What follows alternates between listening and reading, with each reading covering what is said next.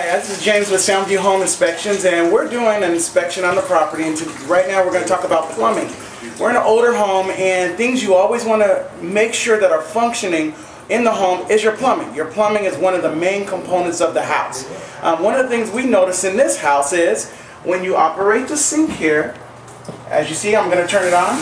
It actually operates the tub. Now, is that normal? It is not normal.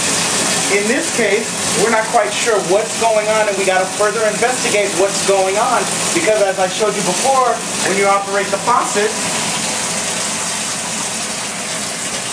it then turns the water off to the tub.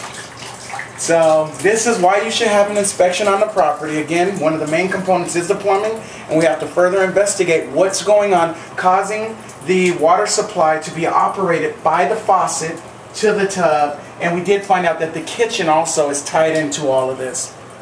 Hi, it's James Beck, Soundview Home Inspections. Thank you.